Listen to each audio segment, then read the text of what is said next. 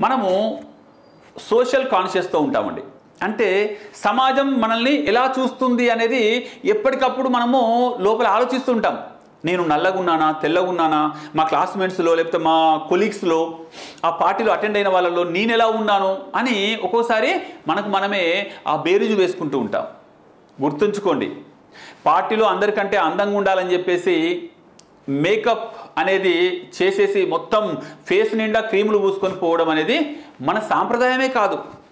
మన భారతీయ సాంప్రదాయం ప్రకారంగా సహజ సిద్ధమైన లవణాలతో సహజ సిద్ధమైన లేపనాలతో మనము పార్టీలకు కానీ ఫంక్షన్లకు కానీ అటెండ్ అవుతామండి.